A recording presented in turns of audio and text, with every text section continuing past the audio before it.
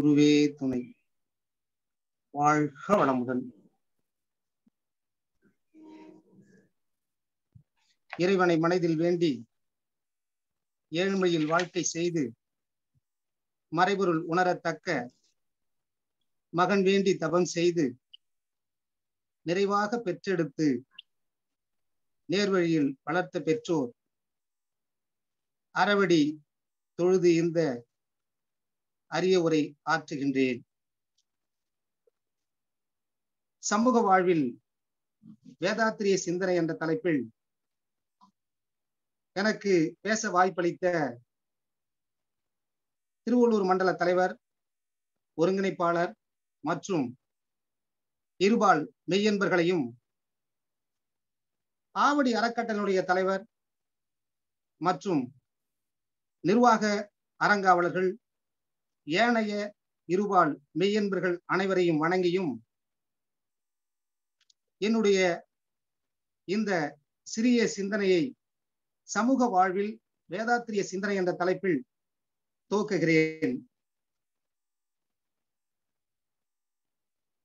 உலகம் தோன்றி அன்று முதல் இன்று வரை பல வகையான வாழ்க்கை முறைகளை கையாண்டு இவ்வுலக மக்கள் வாழ்ந்து கொண்டிருக்கிறார்கள்.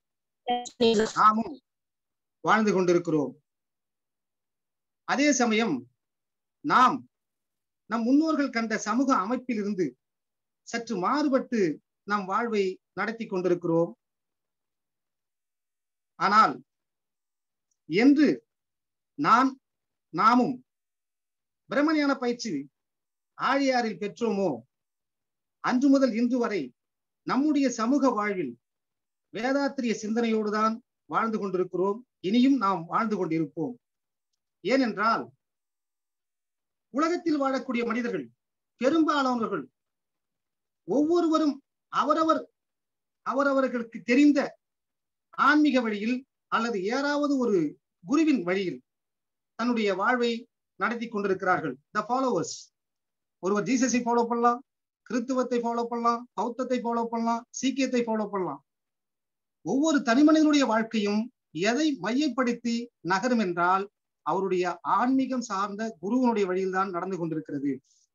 அப்படி ஆன்மீகம் சார்ந்து குருவனுடைய வழியில் நடந்து கொண்டிருக்கிற இந்த சமூக வாழ்வில் நான் என் சமூக வாழ்வை சமூக வாழ்வில் என் வாழ்க்கை முறையை எப்படி நடத்துகிறேன் என்றால் வேதாத்திரிய சிந்தனையோடு நடத்தி கொண்டிருக்கிறேன். காரணம் நான் வேதாத்திரி மகரிஷிற்கு இடம்பெற்ற பிரம்ம ஞானம்தான் அந்த பிரம்ம ஞானம் பெற்ற பின்புதான் உலக வாழ்க்கையில் நாம் எப்படி வாழ வேண்டும் எதையெல்லாம் கையாள வேண்டும் எப்படி இந்த சமூகத்திற்கு தன்னை முழுமையாக அர்ப்பணிக்க வேண்டும் என்ற ஒரு சிந்தனை என்னுள் எழுந்தது. அதற்கு முன்னதாக நான் பிரம்மஞானம் பெறுவதற்கு முன்னதாகவே பல வகையான கடவுளை பற்றிய பல வகையான சிந்தனைகள் என்னுள் இருந்திருக்கிறது. அது பிரம்மஞான புத்தகங்களை படித்த பின்புதான் தெரிந்தது. அந்த கடவுளை பற்றிய ஒரு சிறு சிந்தனை என்னால் அது சிறு தெய்வமாகவும் குறுந்தெய்வமாகவும் பெருந்தெய்வமாகவும் உருவமாகவும் அருவமாகவும் என்ற பல நிலைகளில் இந்த கடவுள் இருந்து கொண்டு மனிதர்களை இயக்கி கொண்டிருக்கிறது என்ற ஒரு சிந்தனை என்னுள் நிலை கொண்டிருந்தது. ஆனால் வேதாத்திரிய சிந்தனையில் சமூக வாழ்வில் இந்த புத்தகங்களை எடுத்து படிக்கின்ற பொழுதுதான் இந்த சிறுந்தெய்வம் குறுந்தெய்வம் பெருந்தெய்வம் அருவம் உருவம் ஆயிரம் தெய்வங்களை பற்றிய சிந்தனைகளுக்கு வேதாத்திரியம் ஒரு முற்றுப்புள்ளி வைத்தது. ஒரு இடத்திலே மகரிஷி அவர்கள் சொல்லுகிறார் உருவங்கள் கோடான கோடியாய் அவை உள்ளும் புறமும் அருவமாய் எத்தனை உருவங்கள் ஆனாலும் இருக்கட்டும் அந்த உருவங்களுக்கினுடைய உள்ளும் புருவமாக இருந்து கொண்டு அருவமாய் இயங்கிக் கொண்டிருவது எதுவென்றால் ஊடுருவி நிறைந்து இயங்கும் ஒரு சக்தி ஒரு ஆற்றல் தான் அந்த உருவங்களுக்கு உள்ளும் புருவமாக இருந்து இயங்கிக் கொண்டிருக்கிறது. அது எதுவென்றால் உயிராகும் இயற்கையாகும் கடவுளாகும். அப்போ அது எத்தனை தெய்வங்களாக இருந்தாலும் அது உள்ளும் புறவுமாக இருந்து இயங்குவது ஒரு ஆற்றல். அந்த ஆற்றல் அதுக்கு சக்தி அந்த சக்தி தான் உயிர் என்றும் இயற்கை என்றும் கடவுள் என்றும் வழங்கப்படுகிறது. அப்படி கடவுள் என்று வழங்கப்படுகின்ற பொழுது அடுத்த ஒரு கேள்வி தன்னுள்ளே துவங்குகிறது. கடவுள் என்பது ஞானமா மாயையா உண்மையா என்று. நான் காரணம் நாம். இந்த வாழ்வை வேதாத்திரிய சிந்தனையை மையப்படுத்தி சமூக வாழ்வில் நம் வாழ தொடங்கி கொண்டிருக்கிறோம் வாழ்ந்து கொண்டிருக்கிறோம். அப்பதான் மகரி சொல்றாங்க ஒரு இடத்துல கடவுள் எனப்படுபவனே மனிதனானான். கரு எங்கி கருத்தறிந்தான். கடவுளாய் அனைத்தையுமே கண்டுவிட்டான். வேலை முடிஞ்சு என்னன்னு பார்த்தா கடவுள் எனப்படுபவனே மனிதனானான். யாரா அந்த கடவுள்? எங்கடா இருக்காரு? எப்படா போனான்னு பார்த்தா கருத்தை எங்கி ஒரு கருத்து ஒரு கான்செப்ட் உடம்புக்குள்ள இயங்குது. அந்த இயங்கி அந்த கான்செப்டை மேல உயர்த்துது. அறிவால் உயர்த்தி. அந்த கருத்தை அறிந்தான். உயர்ந்த அந்த கருத்தை அறிந்தான். கடவுளையாய் அனைத்தையுமே கண்டுவிட்டான். காண்பவனே ஆதி அந்தமாகி நின்றான். கடவுளனை அறிந்தவனே அறியாதோர்க்கு யார் இந்த கடவுளை பத்தி தெரிந்து கொண்டார்களோ? அவர்கள் அறியாத பாமர மக்களுக்கும் படித்த அறிவாளிகளுக்கும் அந்த கடவுளை பத்தின கான்செப்டை உணர்த்தினாங்க. கருத்துணர்த்தும் நூல்கள் பல எழுதி வைத்தான். பல நூல்களை எழுதி வைத்தார்கள். திருக்குறள் திருவாசகம் திருப்புகழ். இப்படி திரு வேதாத்திரியம் பல நூல்களை எழுதி வைத்தான். கடவுள் ரகசியம் அதனை வெளியா காட்டும். த சீக்ரெட் ஆஃப் காட் இந்த காட் இந்த கடவுள் ரகசியம் எங்கு இருக்கிறது? எப்படி இருக்கிறது? அப்படி என்றால் இந்த வேதாத்திரிய புத்தகத்திற்குள் செல்லும் பொழுது அந்த ரகசியம் வெளியாய் காட்டும். கடமையே சிறந்ததென கண்டான் ஞானி. இந்த கடவுளை பத்தின ரகசியத்தை மக்கள்கிட்ட சொல்லி மக்களுடைய இருக்கிற அத்தனை கேள்விகளுக்கும் விடை காண வேண்டும் என்ற கருத்தை கடமையாக கொண்டு சிறந்து விளங்கியவன் தான் ஞானி. அப்படி வேதாத்திரி சிந்தனையில் தன்னை முழுமையாக இணைத்துக் கொண்டு இந்த சமூக வாழ்வை நடத்துவதற்கு இந்த பிரம்ம ஞானம் எனக்கு முழுமையாக வித்திட்டது. ஒரு அன்பர் புட்டபர்த்தி சாய்பாபா இடத்தில் சென்று நான் கடவுளை காண வேண்டும் என்றாராம். அதற்கு அவர் சொன்னாராம் கடவுளை காண வேண்டும் என்றால் நீ ஆழியார் சென்று வேதாத்திரியை காண். ஏன் இங்கு வந்து என்றாராம்? ஏனென்றால் அந்த கனவுள் இங்கு முற்று பெறுகிறார். ஆழியாரில் கடவுள் முற்று பெறுகிறார். கடவுள் சார்ந்த தன்மைகள் கடவுள் சார்ந்த கோட்பாடு மதம் சார்ந்த கோட்பாடு அறிவு சார்ந்த கோட்பாடு இறை சார்ந்த கோட்பாடு உலகில் உள்ள அத்தனை தத்துவ கோட்பாடுகளும் எங்கு நிறைவு பெறுகிறது என்றால் ஆழியாரில் வேதாத்திரிய சிந்தனையில் நிறைவு பெறுகிறது. அதனால் நான் என் சமூக வாழ்வில் வேதாத்திரிய சிந்தனையோடு வாழ்ந்த தொடங்கினேன். ஒரு தத்துவம் சொல்கிற ஜீவாத்மா வேறு பரமாத்மா வேறு வேறு என்று. மகரிஷி எதிர்க்கிற தத்துவம் என்ன சொல்கிறது என்றால் அண்டத்தில் கடவுளாய் அழைக்கப்படுபவன் பிண்டத்தில் உசப்படுகிறான் கண்டத்தின் மேலே கருவில் நிலைத்தவன் அண்டத்தின் பிண்டத்தும் அவனையே காண்கிறான். ஆக எங்கு நாம் கடவுளாகப்பட்டாலும் அது பிண்டத்தில் இந்த உடலில் அது உயிராகவே பேசப்படுகிறது. அப்ப அந்த உயிராக பேசப்படுவதை கண்ட பின்புதான் அண்டத்தின் பிண்டத்தும் அவனையே காண்கிறான். அவன் காணக்கூடியது எது? எங்கு? எப்படி? என்ற கேள்வி என்னுள் எழும்போதுதான் ஒரு தெய்வ நிலையை பற்றி மகரிஷி சொல்லுகிறார். தெய்வ நிலை என்பது என்ன? இன்பமா? துன்பமா? யாதுமற்ற நிலையா? ஏனென்றால் கடவுள் சார்ந்த கோட்பாடு ஒரு மனிதன் வாழ்வில் நிறைவு பெற்றுவிட்டால் அவன் தன் வாழ்நாளில் பெற்ற பிரம்ம ஞானத்துக்கான முழு தகுதியை பெற்று விடுகிறான். அப்போ மகரிஷி என்ன சொல்றாருன்னா தெய்வத்திற்கு கருணை என்பது எது? தெய்வ நிலை அறிந்திருக்க கருணை உண்டு. தெய்வத்துக்கு இன்பமும் கிடையாது துன்பமும் கிடையாது லாபமும் கிடையாது நட்டமும் கிடையாது. அந்த நிலையை உணர்ந்த அறிஞர்களுக்கு அந்த நிலையை உணர்ந்த அறிந்தோர்களுக்கு மட்டும்தான் அந்த கருணை என்பது உண்டு. தெய்வ நிலை சுகதுக்கம் கடந்ததென்றோ தெய்வ நிலை அறிவறிந்தோர் உணர்ந்ததாகும். இதை யாரு உணர முடியும் என்றால் அந்த தெய்வ நிலையை அறிவால் அறிந்தவர்களால் மட்டுமே உணர்ந்ததாகும். அந்த நிலையில் நாம் வாழ்ந்து கொண்டிருக்கிறோம். பல பயன்களை பெற்றுக் கொண்டிருக்கிறோம். இந்த தெய்வ நிலை எப்படி இருக்கிறது? அருவமாக உருவமாக உயிர்களாக அது உள்ளது. இருந்தது இசைந்தது உலகங்களாய் உயிர்களாய். இப்படி பரிணமித்து வந்த தெய்வத்தன்மையை நாம் நம்முள் பிரம்மஞான பயிற்சி பெற்றொன்பதால் நாம் முழுமையாக உணர்ந்து கொண்டோம். அதனால் இந்த சமூக வாழ்வில் வேதாத்திரிய சிந்தனையோடு நம் வாழ்வை நடத்தி கொண்டிருக்கிறோம். வேதாத்திரிய சிந்தனையில் ஆழ்ந்த பின்புதான் பல கடவுள் பழக்கம் வழக்கம் ஒழித்து உண்மை ஒன்றே தேர்ந்தெடுதல் என்ற நிலையை உணரப் பெற்றேன். எத்தனை கடவுள் வேண்டுமானாலும் இருக்கட்டும் எது வேண்டுமானாலும் இருக்கட்டும் ஆனா மகரிஷி என்ன சொல்றாங்கன்னா பல பழக்க வழக்கங்கள் ஒழித்து. ஏனென்றால் இந்த பிரம்ம ஞானத்துக்கு பெறுவதற்கு முன்னால் பல குழப்பங்கள். நாம் நேரா பிரம்ம ஞான பயிற்சிக்கு வரல. நேரா மகரிஷியை பார்த்தல பல கடவுளை கும்பிட்டுருக்கோம் பல இடத்துக்கு போயிருக்கோம் பல நூல்களை படித்திருக்கோம் ஒவ்வொன்றும் ஒவ்வொரு வழிகாட்டும். ஆனா மகரிஷி வந்த ஒண்ணுதான் ஒரு பாதையை நமக்கு வகுத்து கொடுக்கிறார் அது பிரம்மஞான பாதை என்று. அப்படி இந்த பிரம்மஞானக்கு பாதையை பெற்ற பின்பு நாம் இந்த சமூகத்தில் வாழ வேண்டும் என்று சொன்னால் அதற்கு ஒரு வழி உண்டு. அது என்ன? அப்படின்னா இவள் சமூக வாழ்வில் நாம் இந்த சிந்தனையோடு வாழ வேண்டும் என்று சொன்னால் முதலில் நாம் யாருக்கு முக்கியத்துவம் கொடுத்து வாழ்வது? அதான் மகரிஷி தெளிவா எழுதியிருக்கிறார். தான் குடும்பம் சுற்றம் ஊர் உலகோர் காற்றும் கடமையில் முக்கியம் ஒன்றில் மற்ற. அப்போதான் பிரம்ம ஞானத்தினுடைய விளக்கம் முழுமையடைகிறது. தன்னை பற்றிய ஒரு தெளிவு வேண்டும். தன்னை பற்றிய ஒரு தான் நான் என்பவன் யார்? எங்கிருந்து வந்தேன்? எதற்காக வந்தேன்? இது எதனால் உருவாக்கப்பட்ட பிண்டம்? என்றெல்லாம் ஒரு கேள்வி எழுகிறது. அப்ப மகரி சொல்றார் தன்னை பற்றி ஞானம் கிட்ட வேண்டும் என்றால் அதற்கு தன்னை அறிந்து கொள்ள வேண்டும். தன்னை அறிந்த தத்துவ ஞானிகள் முன்வினை முடி சவிழ்ப்பார்கள் பின்வினையை பித்தி பிடிப்பார்கள். சென்னியில் வைத்து சிவனருளாலே அப்ப தன்னை அறிந்தவன் எவனோ அவனே தலைவனாகிய அல்லாவை அறிவான்.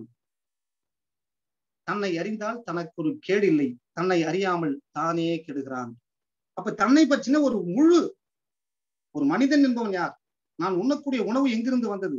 எனக்கான கிடைக்கப்பட்ட இந்த இன்ப துன்பங்கள் எங்கிருந்து வந்தது? இதனுடைய நிலை என்ன? இதனுடைய விளைவு என்ன? என்றால் தன்னை பற்றி ஒரு தெரிய வேண்டும்.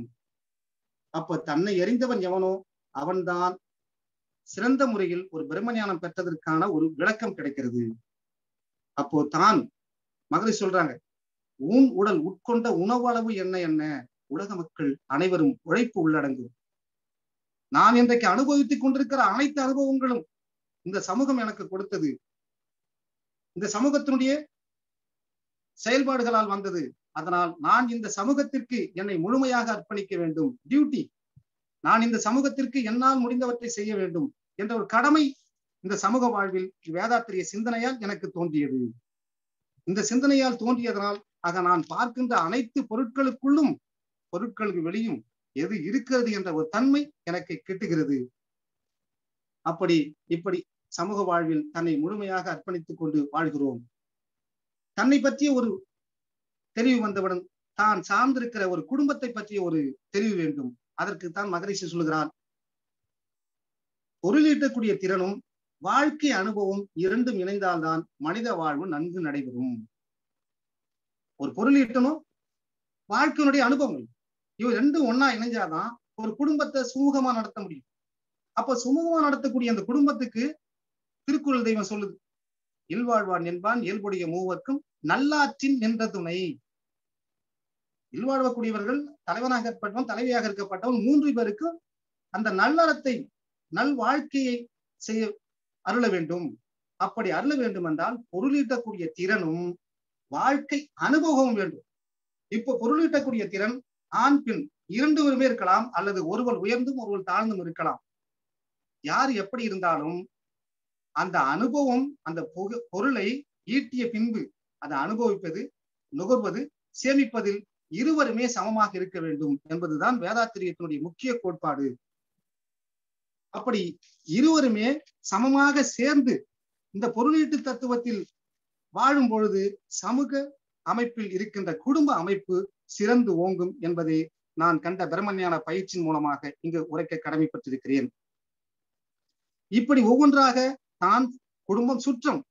சுற்றம் என்றால் மகரிஷி அவர்கள் தெல்ல தெளிவாக ஞானம் வாழ்வில் உரைத்திருக்கிறார்.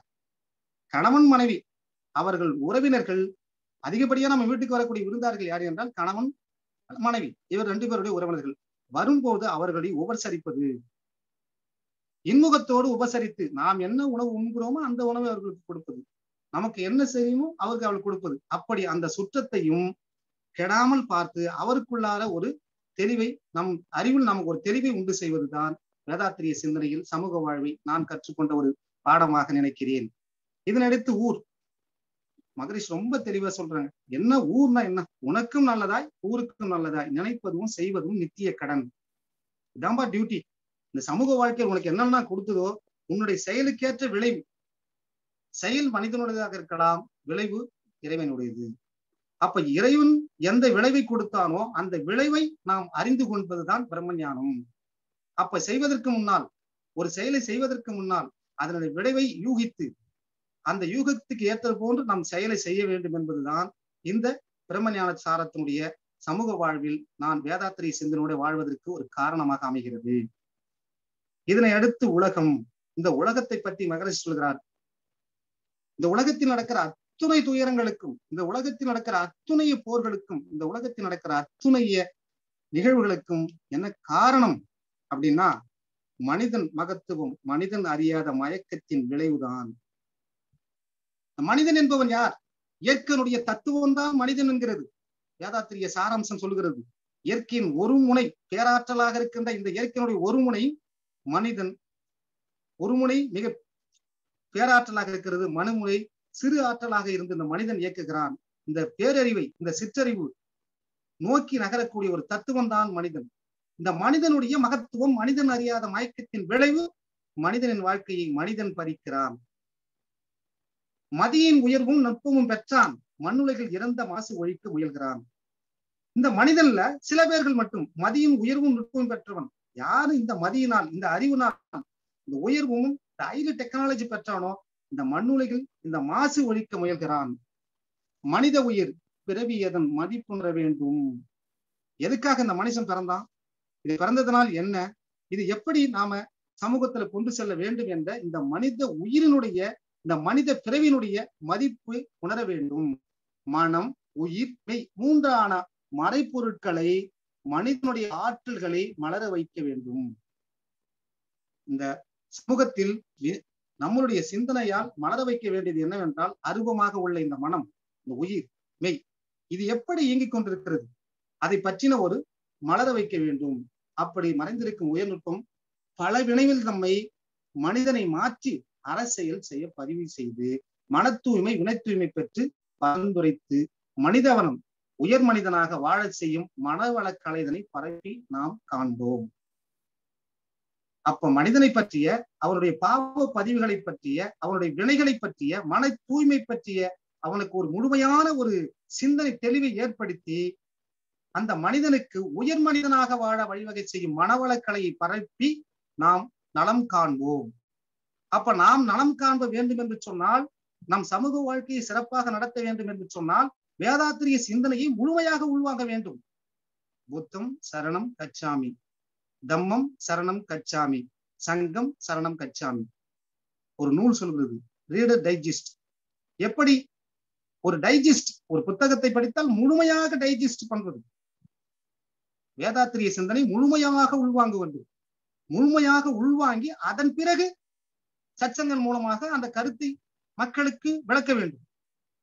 அது நிர்வாகமாக இருந்தாலும் சரி தத்துவமாக இருந்தாலும் சரி வேதாத்திரி மகரிஷி எழுதிய ஒரு அனைத்தையும் முழுமையாக உள்வாங்கி சமூக மக்களுக்கு கொண்டு செல்லும் பொழுதுதான் நாம் பிரம்மஞானம் பெற்றுவதற்கான ஒரு முழு தகுதியை பெறுகிறோம். இப்ப பிரம்மஞானம் பெற்றதனால் வாழ்வில் பல வகையில் நாம் வாழ்ந்து கொண்டிருக்கிறோம். அப்படி வாழக்கூடிய வாழ்க்கையில் மகரிஷி அவடத்தை கேட்கிறோம் சாமிஜி எனக்கு இந்த தவம் போதும். தத்துவம் போதும். இந்த யோகா எக்ஸசைஸ் எல்லாம் போதும். இப்படி வாழ்ந்துட்டு நம்ம வாழ்க்கையை நடத்திடலாமா? அப்படின்னு கேட்கும் போது தான் சொல்றாரு மகனே வேலாயுதம் உனக்கு அதுக்காகவா இதெல்லாம் நான் சொல்றேன்? அதுக்காக இவ்வளவு இரவு பகலா உட்காந்து நான் மட்டுமா எழுதணும் என்னுள் எத்தனை சித்தர்கள்? ஒரு பக்கம் போகர் ஒரு பக்கம் ஐயா ராமலிங்க வள்ளலார். இவர்கள் எல்லாம் எனக்குள் இருந்து எதற்காக இந்த கவிதை நூல்களாக இங்கு சமூகத்தில் கொடுக்கிறார்கள் என்றால் மீண்டும் இந்த பிரம்மஞானத்தை பெற்ற உங்கள் போன்ற லட்சோது லட்சம் பேராசிரியர் பெருமக்களுக்கு நிறைய வாய்ப்பு இருக்கிறது நிறைய வழி இருக்கிறது. அவற்றை இந்த சமூகத்தில் திறம்பட செயல்பட வேண்டும் என்று பல வழிகளில் நமக்கு மீண்டும் இந்த வாழ்க்கையை இந்த வாழ்க்கையை சமூகத்தில் வாழக்கூடிய மனித வாழ்க்கையை எப்படி சிறப்பாக கொண்டு செல்ல வேண்டும் என்று நமக்கு வழிவகை செய்கிறார். அப்ப துறவு போதும் ஞானம் போதும் மௌனம் போதும் இதோட நம்ம வாழ்க்கையை முடிக்கலாம்னா அது கூடாது என்கிறது வேதாத்திரியம். ஒரு இடத்துல சொல்றார் துறந்தோர் காட்டிய வழி என்ன? அவங்க என்ன சொல்றாங்க? இந்த பூமியில தோன்றிய ஆன்மீக நெறியர்கள் யோகிகள் ஞானிகள் ரிஷிகள் சாதுக்கள் மாமுனிவர்கள் இவர்கள் எல்லாம் என்னென்ன வழிகள் சொன்னாங்க? அப்போ என்ன சொல்றாங்கன்னா பிச்சை எடு தொண்டுபுரி பற்றட்டு நில் அறவழியில் நில் போதனை செய் ஐம்புலங்களை அடக்க மன ஊர்மையை மௌனமாகி போற்று. இப்படி உலகத்துல இருக்கிற எல்லாரும் இந்த மாதிரி இருந்துட்டா உலகத்துல இருக்கிற மக்களை எப்படி வாழ வைப்பது? அப்போ மனிதன் எப்படி வாழ்வது? அப்ப மனிதன் வாழ வேண்டும் என்று சொன்னால் அவனுக்கான ஒரு நம்மளுடைய தொலைநோக்கு பார்வை த எய்ம் ஆஃப் அவன் வேதாத்திரியம் ஓர் உலக பேரரசு. அப்ப ஓர் உலக பேராசர் பேரரசு அமைய வேண்டும் என்று சொன்னால் அதற்காக நாம் செய்ய வேண்டிய கடமைகள் என்ன? தான் மகரி சொல்றாரு. எல்லாரும் மௌனமா இருந்துட்டு தத்துவமா இருந்துட்டு இவன் பேசிட்டு கேட்டு போறது இல்ல ஒவ்வொன்றையும் நாம் சிந்தித்து செயல்பட வேண்டும். அப்படி ஒவ்வொன்றையும் சிந்தித்து செயல்படும் போது முதல்ல நாம எதையெல்லாம் கட்டமைக்க வேண்டும்? மகரை சொல்றாங்க. ஒவ்வொரு தனி மனிதனும் எப்படியாவது அறிவாற்றல் பெற்று பொருள் புகழ் சேர்த்து தன்னை ஒரு உயர்ந்த மனிதனாக ஆக்கிக் கொள்கிறான். அப்படி அவன் உயர்ந்த மனிதனாக தன்னை அறிவாற்றலை பயன்படுத்தி ஆக்கிக் கொள்ளும் போது அவன் செயல்பட்ட செயல் என்னன்னா உழைப்பு தான். அப்படி என்றால் ஒரு தனி மனிதனுடைய உழைப்பை பொது உடைமையாக மாற்று. தனி மனிதனுடைய உழைப்பை வைத்து அந்த உழைப்பை ஏதாவது வகையில் அதை முதலாளிகளாக முதல் முதலாளிகள் மாற்றிக்கொண்டு முதலாளித்துவமாக மாறுகிறார்கள். அப்ப அந்த முதலாளித்துவத்தையும் பொது மாற்று. முதலாளித்துவம் உழைப்பு இது இரண்டைக்கும் இடையில் அது சரியான முறையில் செயல்பட்டு கொண்டிருப்பது எது என்றால் அறிவு. ஆக அந்த தனி மனிதனுடைய அறிவையும் பொதுடுமையாக்கு உழைப்பு முதலாளித்துவம் அறிவு. இது மூன்றும் ஏதாவது ஒரு இடத்தில் ஒரு சேமிப்பு வைத்திருக்கும். அந்த சேமிப்பையும் பொதுவுடைமையாக்கு உலக வரலாற்றில் இதுவரை எத்தனையோ நாணிகள் வந்திருக்கிறார்கள். எத்தனையோ புத்தகங்கள் நாம் படித்திருக்கிறோம் படித்துக் கொண்டோ இருக்கிறோம் இனியும் படிப்போம். ஆனால் ஒரு தனி மனிதனுடைய அறிவை பொதுவுடைமையாக்கு என்று சொன்னது வேதாத்திரியம் மட்டும்தான். ஒரு தனி மனிதனுடைய உழைப்பை பொதுவுடைமையாக்கு என்று சொன்னது வேதாத்திரியம் மட்டும்தான். ஒரு தனி மனிதனுடைய சேமிப்பு கணக்கையும் நீ உடைமையாக்கு. இப்படி பொது உடைமையாக்கும் பொழுது அங்கு என்ன நிகழும்? என்றால் இந்த உலகில் வாழக்கூடிய மனிதர்களுக்கு ஐந்து தான் தேவைப்படுகிறது. ஒவ்வொரு இண்டிவிஜுவலுக்கு என்ன வேணும்? உண்ண உணவு உடுத்த உடை இருக்க இருப்பிடம் கல்வியோடு கூடிய வேலை உற்ற வயது வரும்போது ஏற்ற வாழ்க்கை துணை. இந்த ஐந்து தான் ஒவ்வொரு மனிதனுக்கும் தேவை. இதை நம்மால கொடுக்க முடியாதா? நம்ம அரசாங்கம் கொடுக்க முடியாதா? இங்க ஆவடியில் இருக்கிற அறிவுக்கு அறக்காட்டில தலைவரே எல்லாருக்கும் கொடுக்க முடியும் என்ற ஒரு வாய்ப்பை நமக்கு வேதாத்திரியம் அளிக்கிறது. உலகத்தில் உள்ள எல்லாம் நம்மளே சேர்ந்து இதை கொடுக்கலாம் என்பதற்கான ஒரு வழிவகை இந்த வேதாத்திரி சிந்தனை சொல்கிறது. ஏனென்றால் இவை அனைத்தையும் பொதியுரிமை ஆக்க பின்பு ஒவ்வொரு தனி மனிதருக்கும் இதை நாம் கொடுப்போம். அது எப்படி என்றால் NSST national social security trust அனைத்தையும் கூட்டுறவு என்ற முறையில் நல்லா ஆழ்ந்து படிக்க வேண்டும் கருத்தை வேதாத்திரியை முதலில் பொதுமையாக்கிறது தனிமனிதனுக்கு தேவையானதை கொடுக்க வேண்டும். அது எப்படி கொடுக்க வேண்டும் என்றால் கூட்டுறவு என்ற முறையில். கூட்டுறவு. இந்த உலகத்தில் தோன்றிய எத்தனை நிறுவனங்களாக இருக்கட்டும் அவை அனைத்தையும் கூட்டுறவு என்ற முறைக்கு கொண்டு வந்து அந்த கூட்டுறவில் மூன்று பேர்கள் ஒன்று அரசாங்கம் இன்னொன்று அங்கே இருக்கக்கூடிய பப்ளிக் மூணாவது அது முதலாளி. இந்த மூன்று பேர்களையும் கூட்டுறவு என்ற முறையிலே ஒருங்கிணைத்து ஒவ்வொரு மனிதனுக்கு வேண்டிய அனைத்து தேவைகளையும் திறம்பட கொடுக்க வேண்டும் என்று வழிவகை செய்வதுதான் வேதாத்திரிய சிந்தனை. இப்படி எல்லற்ற வழிகளில் நம்மை முழுமையாக தயார்படுத்திக் கொண்டு இந்த சமூக வாழ்வில் வேதாத்திரிய சிந்தனையோடு வாழ்ந்து கொண்டிருப்போம் வாழ்வோம் என்று கூறி இதுவரை எனக்கு வாய்ப்பளித்தவர்களுக்கும் பல வகையான வெற்றிகளை எமக்கு வழங்கி கொண்டிருக்கிற ஆவடி அறிவு திருக்கோயில் தலைவர் செயலாளர் பொருளாளர் அவர்களுக்கும் மற்றும் இந்த இணைய வழியில் கலந்து கொண்டிருக்கிற அனைத்து இருபால் மெய்யன்பர்களுக்கு மீண்டும் ஒருமுறை வணக்கத்தை கூறி மகரிஷி அவர்கள் ஒரு இடத்தை சொல்கிறார் இறைவா நற்கர்ம யோகம் எனும் எண்ணமதை என் மனதில் எழுப்பிவிட் உலக சமயம் எனும் என் மனதை எழுப்பி விட்டாய் அறிவாய் என ஒரு சிறு கருவியாக உலகுக்கு குருவாய். என்னுளத்தே அறிவாய் இருந்து முறையாய் தலைவர்களை அறிஞர்களை ஒன்றிணைத்து மனிதகுலம் முழு அளவில் உணர்ந்து ஏற்க செய்வாய். மறைவாய் மாந்தருள் அறிவாய் உலனி. வாழும் வகவகை செய்து இந்த நிறைவை சிந்தனையை நிறைவு செய்கிறேன். வாழ்க வளமுடன். வாழ்க வளமுடன். வாழ்க வளமுடன் ஐயா. மிகவும் சிறப்பானது ஒரு சிந்தனை ஐயா. முதலில் சமூக வாழ்வில் வேதாத்திரிய சிந்தனைகள் அப்படின்ற தலைப்புல ஆரம்பிச்சு உலகம் தோன்றி மக்கள் வாழ்வதில் இருந்து தொடங்கி சமூக வாழ்வில் வேதாத்திரிய சிந்தனையில் வாழ்ந்து கொண்டிருக்க வேண்டும். தனி மனிதன் வாழ்க்கை ஆன்மீகம் சார்ந்து கொண்டுதான் வழி நடத்து